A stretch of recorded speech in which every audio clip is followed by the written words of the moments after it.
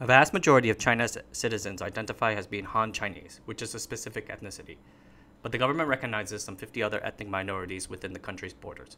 Some of them have made trouble, are in, in, are in trouble, like the Uyghurs and the Tibetans. Others have proven themselves excellent members of the Chinese society, such as the Hui and the Zhuang. In this article, I want to focus on a specific ethnic minority in the latter category, a model minority, so to say, the Chinese Koreans. So, what are the Chinese Koreans? You might ask, what does that mean?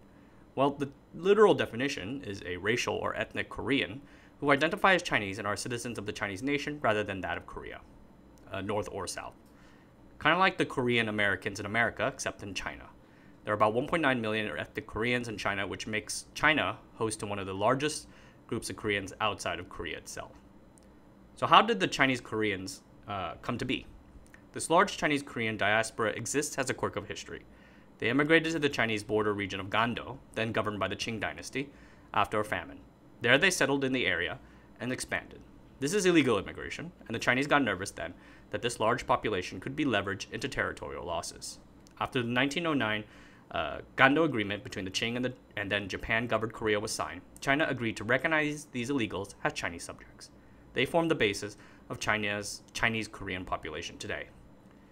The Chinese Koreans occupy an interesting place in history and society. They were understandably so, fervently anti Japanese, and so played a big part in the resistance against Japanese imperialism during the Second Sino Japanese War. And then they helped the Chinese Communist Party defeat the Kuomintang and establish the People's Republic of China. Yet at the same time, they remain an ethnic minority population living very close to an independent country governed by those of their own race. So there is a potential case of split loyalties. So, how are the Chinese Koreans perceived in China? The way the Communist Party decided to handle these Yanbian, uh, Koreans, with their interesting past but potential latent conflicts, is to hold them up as a model of the party's minority race policies. They are essentially the model minority in China, an example of loyalty towards government policy as well as exemplars of hard work and moral values. Unlike with the Uyghurs in Xinjiang, their feelings towards their nation are not questioned. Yet at the same time, Chinese Koreans often experience difficulties as a minority race in their own country. The Chinese Koreans, in general, live in China's northeast, where economic progress is not as dynamic and the specter of communism and collectivization lingers. They tend to be poorer than the Han majority, though they do better when compared to other ethnic minorities. Ethnic minorities in China tend to struggle to get ahead because they often do not start out with the established business networks and have a harder time creating one of their own. Rather, they are mostly relegated to a career of working with other companies run by their own race. Sort of a ghettoization, so to say. So how are the Chinese Koreans perceived in, you know, South Korea? There is a forgettable South Korean movie recently released called Steel Rain. It's a geopolitical thriller in which a North Korean army attempts a coup, and our heroes in South Korea try to deal with the situation. Anyway, the main protagonist gets into an argument with a party official in China about the situation. I'm not familiar with the Korean language, but I can could tell that the guy had a distinctly different accent of Korean than the main protagonist. But he looked Korean. And then the following exchange. The Korean official says, We Koreans will have no choice but to be dragged into the Cold War system once again. Dot dot dot. You're Korean too. And the Chinese official says, So what? Since when did you Korean people treat us as brothers?